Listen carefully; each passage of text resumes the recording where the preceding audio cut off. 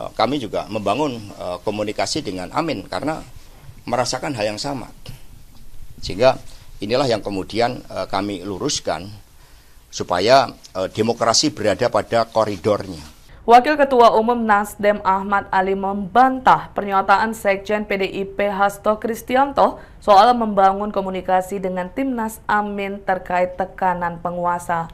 Ahmad Ali justru mempersoalkan bagaimana Hasto sejak awal justru selalu mengambil posisi kontra dengan pencalonan Anies Baswedan sebagai presiden. Dikatakan Ali, sampai saat ini pihaknya belum pernah membangun komunikasi dengan PDIP.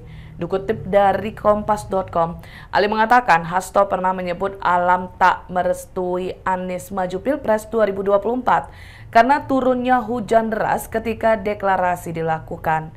Ia juga mengungkit bahwa partainya setia mendukung Presiden Joko Widodo atau Jokowi, meskipun ex-sekretaris Jenderal Nasdem Joni Plate ditetapkan sebagai tersangka oleh Kejaksaan Agung.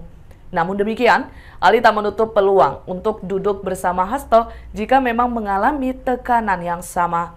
Senada dengan Ali, Sekretaris Jenderal Sekjen Partai Nasdem Hermawi Taslim juga membantah adanya komunikasi dengan Hasto.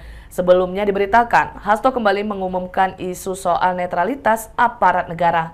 Isu ini semakin mencuat setelah Capres-Cawapres yang didukung PDIP akan berhadapan dengan Prabowo Gibran di Pilpres 2024. Ikuti terus berita menarik lainnya. Jangan lupa like dan share seluruh akun Tribun Medan.